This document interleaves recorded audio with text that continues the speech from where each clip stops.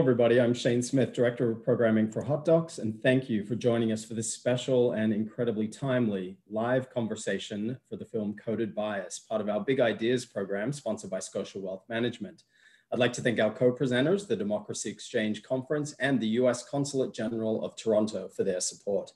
We would like to acknowledge the diversity of the First Peoples of the territory on which the festival takes place and honor the stewardship of the Mississaugas of the New Credit, the Anishinaabe, the Iroquois Haudenosaunee, and the Wendat. We're grateful to have the opportunity to live on this territory. The format for this event is a hosted conversation with audience questions. You can ask questions by entering them into the Q&A box at the bottom of your screen. This webinar is being closed captioned by AI Media. If you need closed captioning, you can turn it on in your Zoom app. Now, I'd like to introduce the host for this event, Myrocia Watamaniuk, Senior International Programmer for Hot Docs, who will introduce our outstanding guests. Take it away, Myrocia. Hello, everyone. Thank you so much for joining us at home from your screens for what is perhaps one of the most timely discussions that we're going to be having at Hot Docs 2020.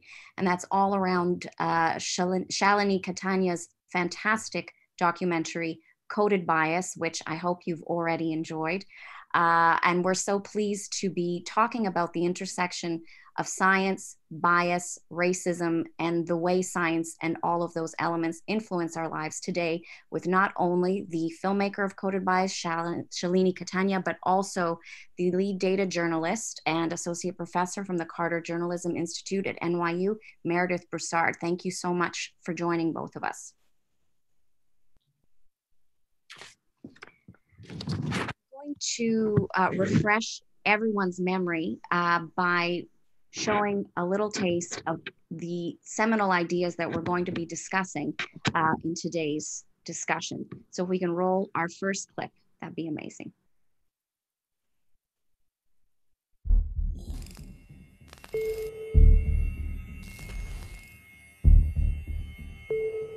During my first semester at MIT, I got computer vision software that was supposed to track my face. It didn't work until I put on this white mask. I'm thinking, all right, what's going on here? Is it the lighting conditions? Is it the angle at which I'm looking at the camera, or is there something more?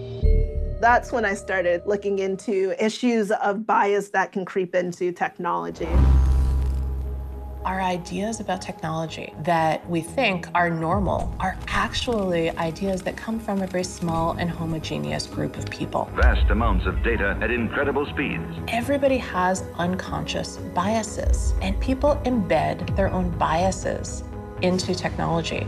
This kid got stopped as a result of facial recognition misidentification, and then used that as justification to search you. This is an innocent child. Racism is becoming mechanized. Systemic issues are only going to be hardwired into new technologies. It's not just face classification, it's any data-centric technology. Every day, we are all being scored. Who gets hired? Who gets housing? I am making predictions for your life right now. The people who own the code deploy it on other people, and there is no accountability. Management at Atlantic Towers wanted to install the facial recognition software. Pretty much turn this place into Fort Knox. The technology is being rapidly adopted, and there are no safeguards. We are socially controlled in a way that we don't see. technology that analyzes faces could be biased, but the company is pushing it anyway. What demographic is it most effective on? White men. Show me that it's going to be fair, that it's legal before you put it out. That's what we don't have yet. It's going to take people coming together, driving for justice in this age of automation.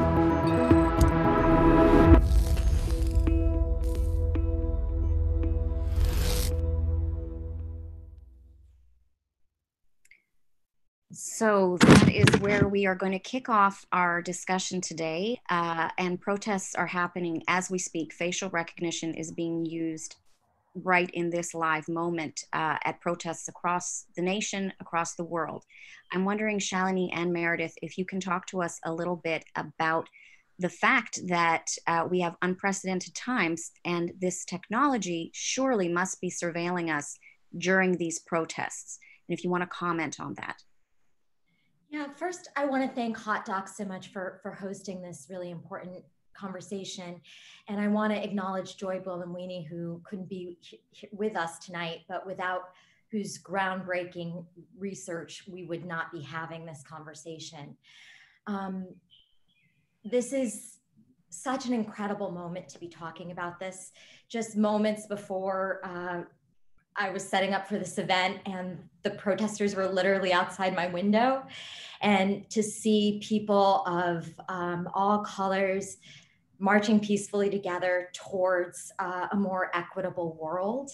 And it's never been a more important time that we talk about how we cannot afford to embed the injustices of the past in the technologies of the future. And I think that's really important. And we're seeing now um, really invasive surveillance being used not just by police, but by the FBI, by ICE, um, to the full extent we are not even able to see because we don't yet have laws that govern this conduct in the United States. So, uh, 117 million Americans are already in a facial recognition database. And that has happened without a single person in an elected office giving the word. Essentially, police departments picking up a new tool and experimenting with people's rights. And we've seen it uh, with the Freddie Gray protests. And you can imagine how dangerous this is um, on our freedom, our freedom to assemble, our freedom to protest, our freedom of association. Um, facial recognition is a technology that intersects with so many of our rights and freedoms. And um, it's so important that we have laws that govern its use. And Meredith, if you can comment right now, uh, as we said, the protests are increasing every day. Uh, and surely the surveillance systems from variety of police departments are likewise increasing. What do you know about that? Well, thank you for uh, for the opportunity to participate in this very timely discussion. Uh, I think that the conversation about surveillance is very important right now because it is a conversation about racial justice. Uh, the racial injustice that is being embedded in technologies uh, is giving it the force of law. You've probably heard the expression code is law. And so when we have bias that exists in the world, it gets embedded in algorithms as algorithms are increasingly being used to make decisions on our behalf, uh, whether it's decisions about credit, whether it's decisions about who uh, gets put in jail, whether it's decisions about who gets a mortgage and has the opportunity to build intergenerational wealth. These are decisions with a lot of historical weight behind them. And if we simply reproduce the world as it is right now, we're not getting to the world as it should be. And we need to have this conversation right now because all kinds of surveillance are being deployed on citizens as a matter of course, and people don't know enough about it. So this is especially acute as we're thinking about what kinds of surveillance are being deployed on protesters right now? I think that we should also delineate the protests that are being uh, surveilled because two weeks ago there were mass protests everywhere against public health regulations. And we certainly saw news coverage of some police and some surely surveillance that accompanied them to surveil the protesters but we are seeing a very different style. Some would argue much more aggressive, certainly larger in numbers of attention from uh, police and potentially military against protests regarding racism. The surveillance has to be even greater. Is that is that a, a logical conclusion that we can a rational conclusion that we can come to? It is a logical conclusion. We know that law enforcement are, are picking up these tools and using it we don't have any laws that actually give us rights to that information. And so in the UK, um, an or, a great organization called Big Brother Watch UK uh, actually was able to do a study because the laws are different in Europe. And what they found is that 90 over 90% of the people that were being stopped were misidentified. Over 2,000 people were wrongly identified by facial recognition. And of course, because of Joy's groundbreaking work, we know that this technology is not accurate on people of color. And we know that it's being used disparately on those communities of color. So the this is a very dangerous situation. Um, we saw in my film a 14 year old boy get stopped in school uniform by facial recognition. And this, um, without legislation, has the danger of being the new stop and frisk. I want to just pause there at that moment because I think that is one of the most disturbing from the variety of disturbing images that Coded Bias shows us. It was the impunity with which those uh, security forces stopped that 14 year old. And despite uh, his reactions and those of onlookers and the fellow children who were with him, it's that impunity. And you've just said, Shalini, that the laws in Europe are different. And yet that impunity is what seems to be the constant. And what I would argue is uh, this other bias that no one talks about, and that is that they the impunity of enforcement. That's absolutely right. And and what's happening is that those systems of oppression have just become more opaque. And so this young kid, this child who's been wrongly stopped by five plainclothes police officers and frisked has to doesn't even know why he's been stopped. And they're saying no it's the computer says it's a match right? And so it becomes this um, it's impunity. You have it's not transparent it's not opaque it's not democratic it's not accurate and it's discriminatory. So it's a real danger for democracies and and again this is happening in a country that has laws that are different from those of north america. So as much as we're all watching what's happening on television and kind of reveling in a marker of time life before covid life before uh, these george floyd protests what i imagine to be life before for that 14 year old boy is entirely different now afterwards. And i feel as a world as a culture uh, as humanity we're experiencing that post moment together. That said, um, you know, we've got some great questions already coming from our audience, and I just want to throw one in right away. Tekia Hendrickson is asking about what about uh, the conversation about COVID and contact tracing and how AI can be beneficial in those terms? Uh, but is this not still the same praxis of issues uh, that we're discussing or racial issues. It's one of the reasons I'm so excited to have this conversation because we're living in an age where we, we're just used to seeing big tech as this white knight hero that sort of sweeps in when it's been built by this very elite group of people. And so now Google and Apple are coming together and say, no, we just need to know your location and who you've been with. And, and, and we'll do all the hard work, not thinking that the communities that have been most impacted by COVID are communities of color and elderly communities, and they may not even have this high tech. And so I am wary that in this moment and in this moment of crisis that we'll rush in for these authoritarian technologies that have really very harmful consequ- unintended consequences for the future of our democracies. Uh, and I think it's yeah that I uh, that I talk about in my book called techno chauvinism.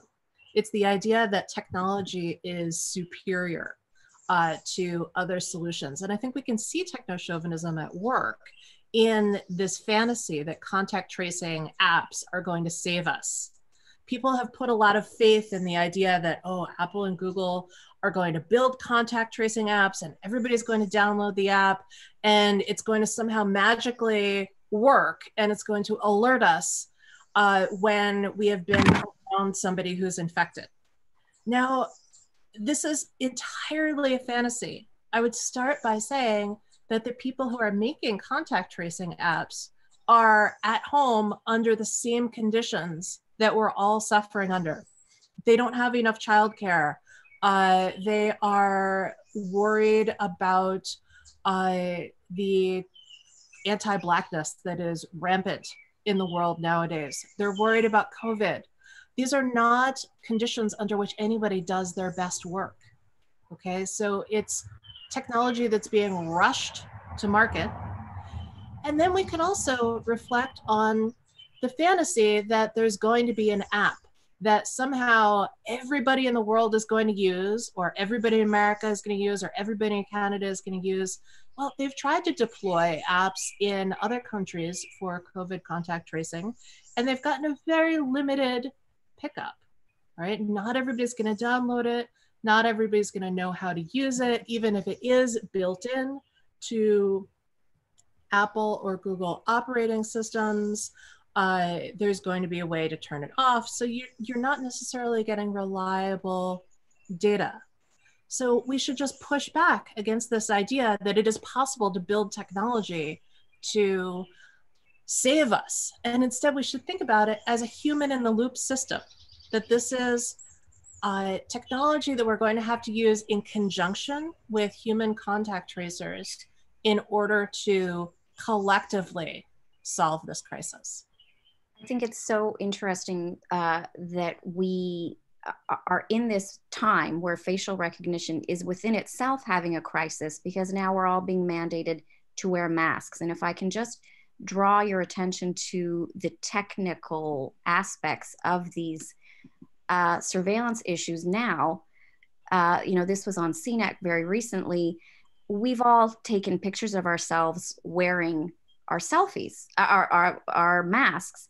And now, as you said, Meredith, the same scientists are working under the same conditions at home, uh, scouring the net, specifically uh, Instagram, looking at our masked selfies. And over 2,000 images uh, have already been used off of Instagram. And when asked about the ethics behind using these images for this data, the CEO of the company replied, if you don't want your image used, you should have a private Instagram page. So it's this kind of carte blanche that is written. Uh, use our apps, enjoy our apps. They're going to improve your life. We're watching you. Don't look over here while we're taking it all when you're not looking. Can you talk to us a little bit about those instances before we get into the nuts and bolts of what we can actually do? Well, Facebook and the, all of those apps are use are using our faces to train their data sets without our willful consent. And one thing that Joy and the Algorithmic Justice League talk about is that we need to have meaningful consent over the use of our images. And, and the tech companies shouldn't have carte blanche over our data, over our faces, to use our faces to train their data sets. And I'm Mer- glad you brought up the issue of ethics because, uh, as Shalini said, the Algorithmic Justice League's work, Joy's work, uh, brings up the issue of ethics inside software. Uh, it is amazing to me that the conversation about tech ethics has only uh, really exploded in the past couple of years because this has been a kind of slow moving crisis throughout tech's entire history. Uh, most of the ideas that we think are common about technology actually come from uh, a very small and homogeneous group of people, from Ivy League educated white men who were trained as mathematicians. And there's nothing wrong with that. You know, some of my best friends are white male mathematicians. Uh, but the problem is that when you build, when we have a small group of people building technology, that technology gets all of the conscious and unconscious bias of that group of people.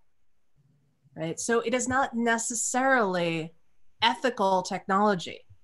So, what we need to start building now is we need to start uh, with an ethical framework. We need to make sure that the technology that we're building is ethical. And so facial recognition is a really good uh, case study for thinking through how have we built unethical technology and how can we build more ethical technology in the future?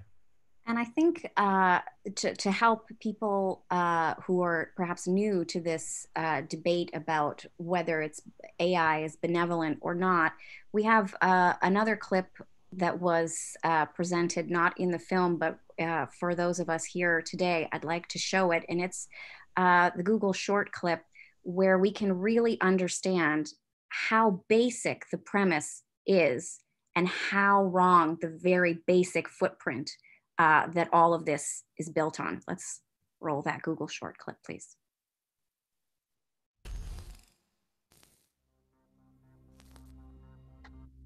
Computer scientists know that computers cannot autonomously determine what is good.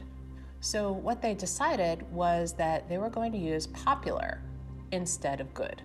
This is a decision that you see in the algorithm that is at the heart of Google search.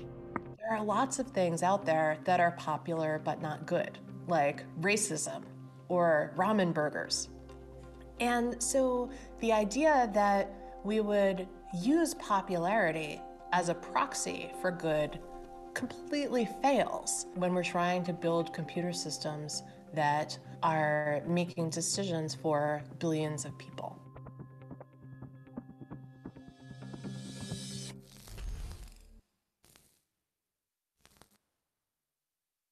It's such a salient point. I feel, you know, trying to discuss the difference between good and popular is the most basic argument you have as a parent with your toddler.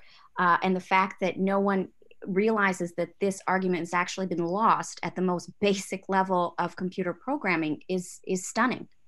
Um, I want to jump to an audience uh, question, which is an excellent one from Bruno Medina, who is an AI and deep learning researcher and wants to know how can he and his uh, colleagues help people now with their current protests? I know in the film, Shalini, you, you dedicate time showing people in Hong Kong using laser pointers to uh, kind of make it difficult for the cameras to recognize our faces. What tactical, tangible issues or things can we do to protect ourselves? And what can AI do to protect us? We need laws um, we actually need laws. And I think that tech companies can do things like uh, get their companies to adopt the safe play, face pledge. Uh, I have some on the Coded Bias website. We have a few actions that you can take with our partners, um, partners like the Algorithmic Justice League, Mijente, who has a, a, a, program that is about no tech for ICE.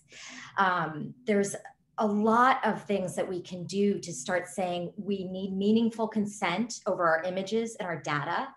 We need laws that govern big tech companies first and foremost, because as much as it is on tech, they're not going to get us out of this. We actually need legislation that can be enforced to sort of roll back the power that they have in our society, um, which is which is really um, sort of the biggest power that the world has ever seen in a certain way. And, and to me, it is the biggest threat that faces our democracies in the 21st century. Absolutely. Meredith? You have to unmute. All right. Sorry about that. Uh, it's the inevitable moment. I, I would echo what Shalini said. I, check out the Algorithmic Justice League, check out Coded Bias's website for suggestions, uh, give money to organizations who are uh, helping protesters, uh, give money to anti racist organizations. Uh, and I would also say, let's not necessarily assume that we can build technology to get our way out of the pickle that we're in collectively as a society right now. Because over reliance on technology is one of the things that got us here.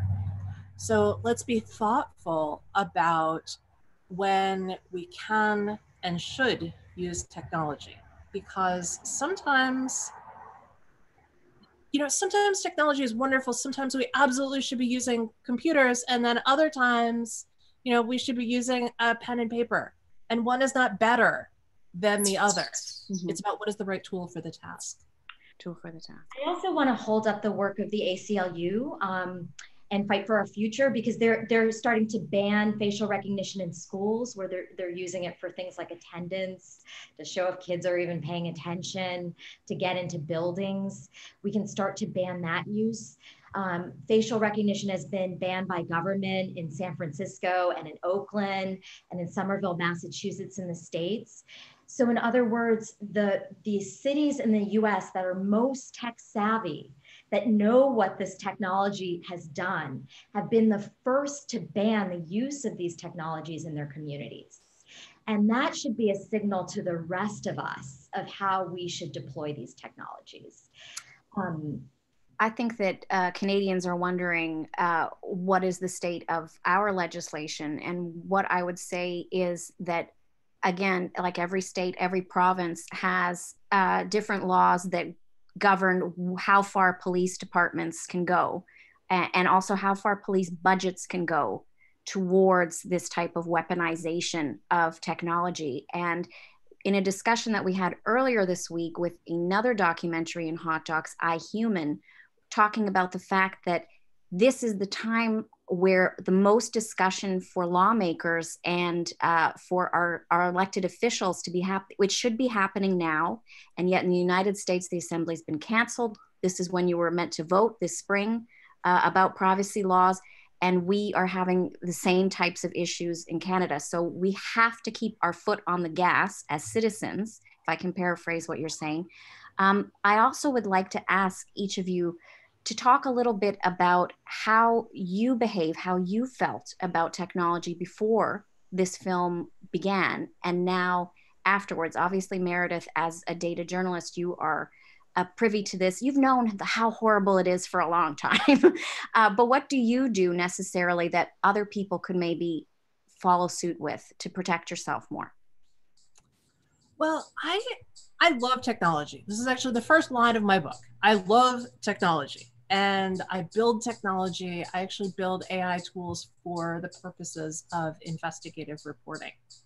Uh, and I would say that people can uh, get involved in algorithmic accountability journalism. This is a relatively new kind of reporting, uh, and it's a kind of journalism in which we hold algorithms accountable. As I said before, algorithms are increasingly being used to make decisions on our behalf. And we need to investigate those algorithms to hold them accountable in the way that Joy so beautifully does in the film. Uh, to say, hey, these algorithms are not all that they're being uh, that they're being marketed as. Some of these things work really badly.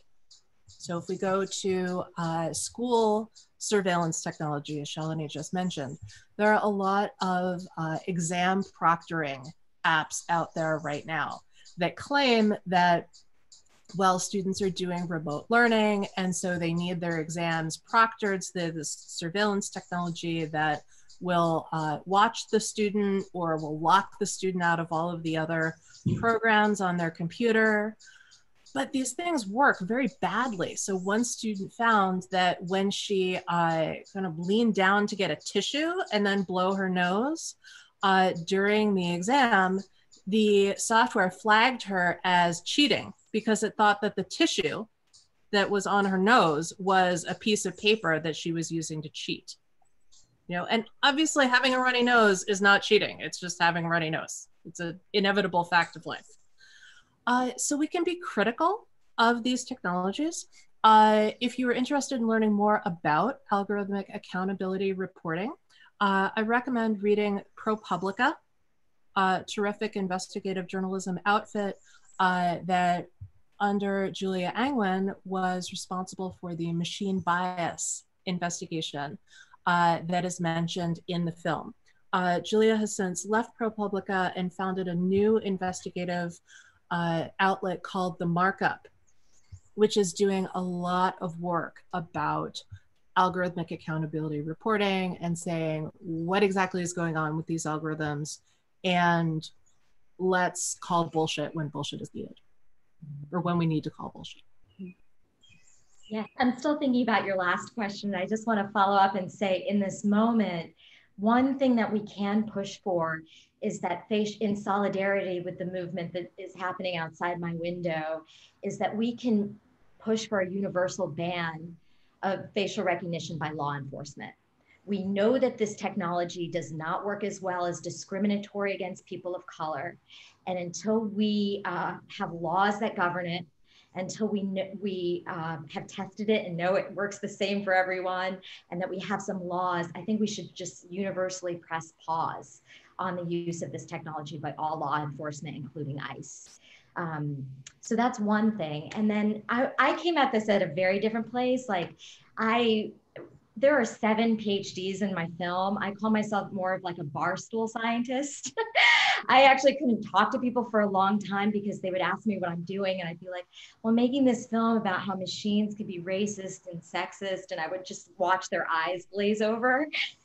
And so um, I think that what I've learned a lot about is to question everything. That you know we live in a world where if you say something and a computer says something you're wrong. The computer says it it's right. And so we have to live in a society now where we start to question technological systems in a real structural way. And that means that you know law we have to have laws but that we also start to question um, the very systems we interact with every day the other thing that I didn't realize was the pervasiveness of these systems. How automated systems that we don't fully understand, that we have not vetted, that we don't know if are accurate, are being used for things like deciding who gets healthcare or not. A, a well, uh, a, a healthcare algorithm that was widely used was shown to provide white people with better health care than Black patients, right? And so you can see how dangerous this is. They're using it um, in prison sentencing. We know that from Julia Angwin's um, groundbreaking work, right? Where we've seen that algorithms have um, predicted, they're now saying this is your danger of recommitting a crime, like a Minority Report Steven Spielberg film, and saying this is your danger of committing a crime and it shows more times that black people are more likely to commit a crime than white people. And because we've gone back they've gone back and looked at the research they said this was not true right? So these algorithms are making predictions about us all the time. And i did not understand the pervasiveness about it. And so I think like we live in this world and we're like, so what? Our Facebook, I wanted to see a pair of shoes that knows I like those kinds of shoes, you know, Mm-hmm. But what we don't think about, what I didn't realize, what I learned in the making of this film is the completeness of that data, of, of these data predictions, how much they can garner about you. Mm-hmm. Um, that they can, you know, predict whether you will, um, your likelihood to, um, to, to fall under manic depression in the next six months, uh, your likelihood to be, become pregnant in the next three months. Like machines are making predictions about this. And it's dangerous because it's kind of right. And it, yet it can have these false negatives that have real implications for people. And already we are trusting this with sacred things, figuring out who gets housing, who gets healthcare, who gets hired. And these are already the invisible gatekeepers. When you apply to college, it might be, you know, an algorithmic sorter that actually gets you through that first phase. And so um, we have to be really careful about these, what we are outsourcing these automated decision makers to do for us. I feel like so many Canadians who are watching and participating in this discussion are saying, oh, but you know, I'm in Canada. So those things, those college admissions, they're very different here in university. And I just want to call attention, uh, and this also feeds into that argument that people often make that, okay, we can't stop using facial recognition just because it's not perfect, because isn't it worth it for the threat of things like terrorism, uh, for someone to be stopped and frisked versus uh, not stopping that person and having that person commit some horrible crime. That is the, the thought process of those who still cannot uh, penetrate the ethics of what is happening. And I'm going to share another article. And this is this is from two years ago. This is not new. Uh, this cuts across all issues of uh, skin tone. There is AI from two years ago that is guessing with clarity whether you are heterosexual or homosexual. This is the exact technology that was being used by the same scientists that inspired the work of Cambridge Analytica. And two years ago, when that story broke, uh, it became a political issue about the election tampering. We are talking about a technology that overrides all timely discussions. In the impunity that we mentioned at the onset of this discussion, technology, those who own the machines are deciding what that machine is going to do. I think it's very difficult as citizens to feel that there is something to be done.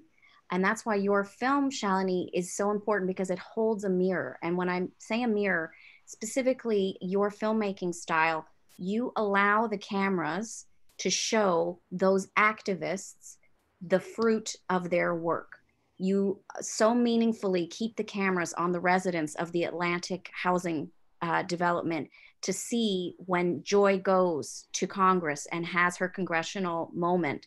And she's advocating for all the work that she collected from this group uh, be heard and be actioned upon by the most unlikely heroes in that moment in Congress. And that to me is so significant because there is that feeling of absolute David Goliath helplessness as a private citizen who doesn't understand AI, who doesn't have a legislative team, a legal team behind us to launch civil uh, lawsuits and class action lawsuits. If you can show a person taking this fight on and winning, how galvanizing that can be. So I thank you so much, Shalini, uh, for keeping that footage in the film.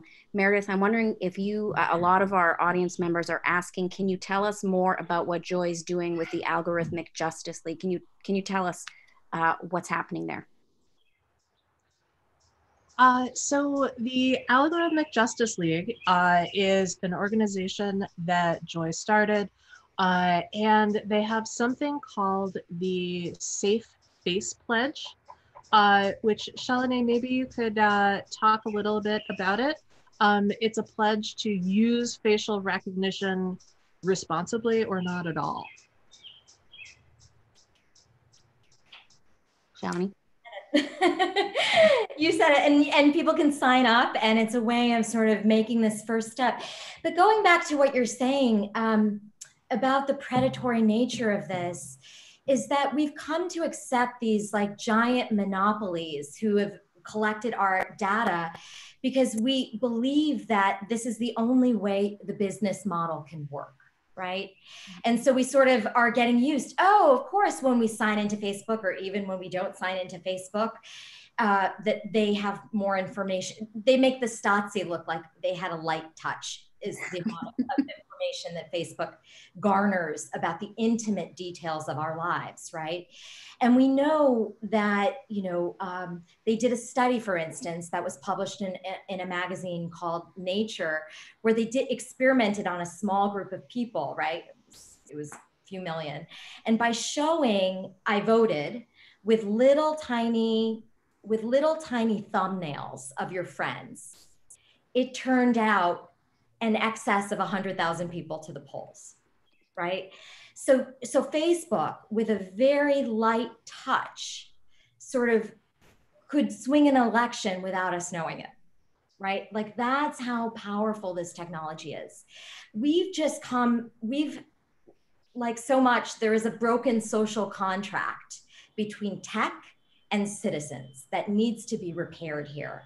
And so, um, we have come to believe that okay if we sign on we're getting this service for free. And that is because we are what is being sold. Our attention is sort of what is for sale to everyone. And until we change that business model we are not going to have um, i feel that these tech companies are a threat to democratic institutions. And so um, Yes. So those that's just that's that's a perfect point to jump in with uh, another audience member who wanted to know more information about the young skateboarder in China who you follow, who seems to espouse a very different attitude that she is welcoming uh, the fact that AI is going to help her save time in her life by not wasting it on people who she should not waste her time on as being un, unsuitable friends. Uh, so, you know, you're talking about changing the contract between a consumer and big tech. And now this is a completely different political system where the citizen has a very different relationship from the get go and very few means to uh, act out, uh, opt out of that relationship. Tell us more about her. Well, yes. I mean, I think that that little section of the film is meant to be sort of a Black Mirror episode inside of a documentary. And it aims to show a reflection of ourselves.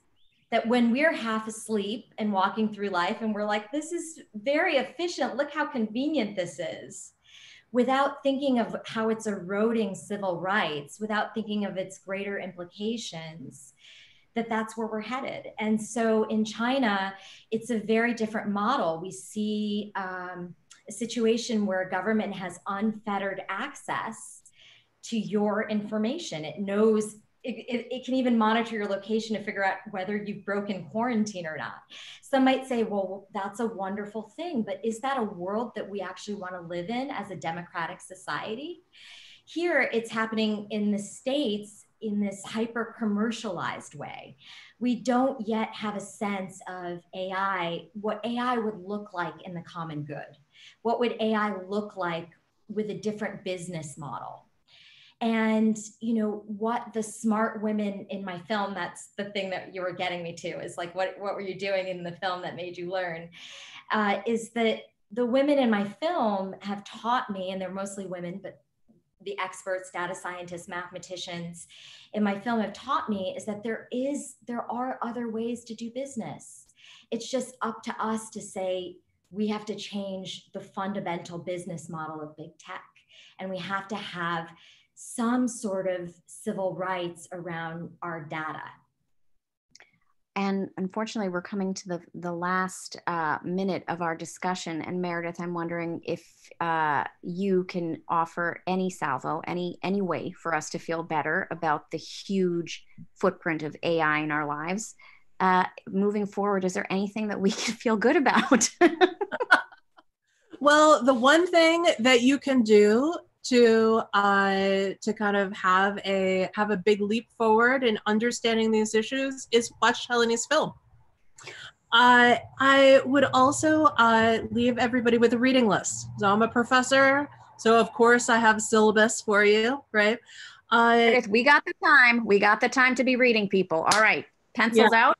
Okay, so you're going to want to start with Algorithms of Oppression by Safiya Noble, who is in the film uh, Race After Technology by Ruha Benjamin, Automating Inequality by Virginia Eubanks, who's in the film, uh, Black Software by Charlton McIlwain, uh, and uh, I mean, I would be remiss if I didn't mention my own book. I was going to do it for you. Don't feel thank badly. You, thank you. Artificial Unintelligence.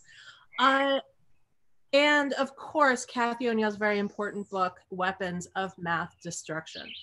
Uh, so you can read, you can watch, uh, you can get educated about these issues. Computational literacy is really important so that you don't feel like you have to just sit back and let things happen to you. You have a voice in this as a citizen of your country, of your town, of your city. You have a say. You just need to understand a little bit about the computational systems in order to start speaking up about injustice. Uh, and before I turn it over to you, Shalini, for a final word to our audiences, I'd like to point out uh, that it is women, and it is primarily women of color that your film shows fighting this fight. Uh, I will say that after having seen the film, I went and took a look at the big five banks in in Canada to see what kind of AI ethics uh, are they practicing? What do they share? And I was pleased that at least one of them actually quotes directly from Joy's work extensively. Uh, so that made me feel better. But it, it was very, uh, very clear that it is the voices of the oppressed that are leading this change. And I want to thank you for highlighting who you did. Can you just give us what your opinion? Are we doomed? What's going to happen, Shalini? Look in the look in the future. Um, I'm hopeful because uh, just like I said 10 minutes before I saw this, I saw people of all colors changing the world outside my window but they couldn't do it they they it took people working together and this is the moment this is the pivotal moment for our democracy the battles for civil rights are going to happen here in algorithms, in tech, in AI. And so it's up to us to be educated.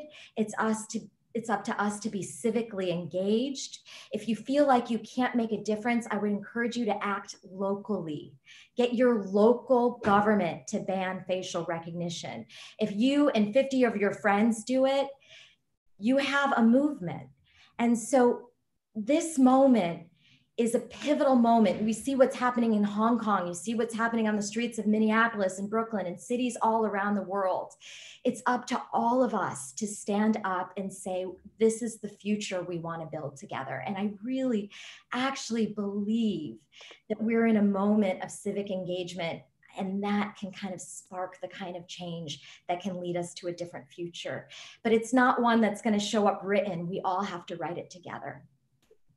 Thank you, Shalini. Those are inspiring words. Thank you, Meredith, uh, for your work and your continued diligence. And thank you, Shalini, for giving us uh, an, you know, a feature length uh, time frame to really change our scope on the world ourselves. Thank you. Thank you. Thank and you both so much. the film. Absolutely. Vote for the Audience Awards. And thank you so much uh, to our guests for this fascinating, timely discussion. Meredith, we're going to tweet out your reading list on the Hot Docs Twitter account. Um, join us for our next Big Ideas conversation. It's this Saturday, June 6th at 3 p.m. as we discuss the World Economic Forum as seen in the film The Forum and the role world leaders, corporations, and individuals play in ensuring the health of our planet, particularly at this challenging moment in human history. Thank you again to our guests. Thank you, our audience, for being here, and goodbye for now.